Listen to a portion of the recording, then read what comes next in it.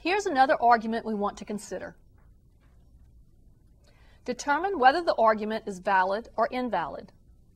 All conservationists are advocates of solar-powered cars. No oil company executives are advocates of solar-powered cars. Therefore, no conservationists are oil company executives.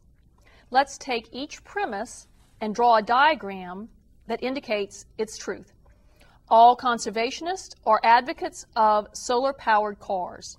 We're going to have a circle for conservationists, and we're going to have a circle for advocates of solar-powered cars, and we're going to enclose the circle for conservationists inside that. Second premise, no oil company executives are advocates of solar-powered cars. What this tells us is we can have no overlap with the circle for advocacy of solar-powered cars. So our oil company executives, our executives will have to be out here, disjoint from the set that we have designated for advocates. Therefore, no conservationists are oil company executives.